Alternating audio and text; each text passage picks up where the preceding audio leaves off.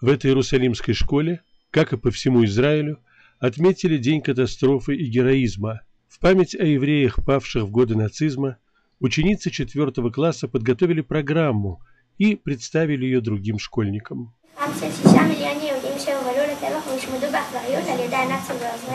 להשמיד, להרוג ולאבד. ציווה לצבאות לשתות מהיהודים לכסף זהב ובמלחמת קדיש.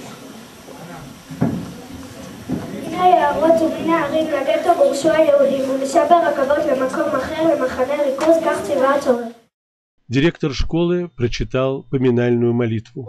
אחינו בני ישראל הקדושים והטובים שנפלו בידי הרוצחים ונשפך דמם באושוויץ, מיידנק, טרבלינקה ובשאר מחנות השמד באירופה.